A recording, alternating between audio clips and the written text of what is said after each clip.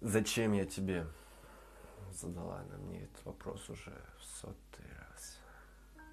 Если ты любишь другую, зачем тебе я? Вновь воскликнула она. Ну, ладно. Присаживайся поудобнее и послушай. Я понимаю, что это неправильно, любя другую, пытаться построить отношения с тобой. Нет, нет, нет, подожди. Только не перебивай. Дай мне все сказать. И просто послушай. Это как минимум ужасно по отношению к тебе. И я это полностью понимаю.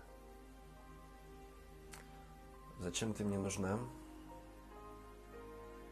Наверное, потому что я хочу, чтобы я и она были счастливы. Но не рядом друг с другом. Хотел бы я сказать, что ты ее заменитель, но, увы, это не так. Ты зацепила меня, как в последнее время это не получалось особо ни у кого. С тобой мне хочется быть рядом. Дарить тебе подарки. Засыпать рядом. Обнимая тебя все крепче и крепче.